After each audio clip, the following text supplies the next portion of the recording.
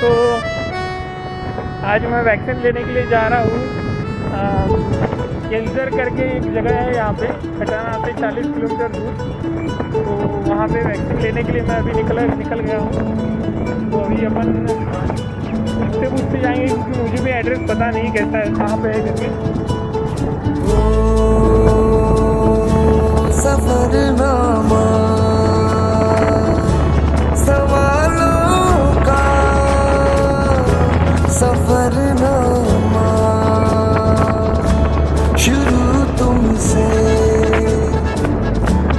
खत्म तुम पे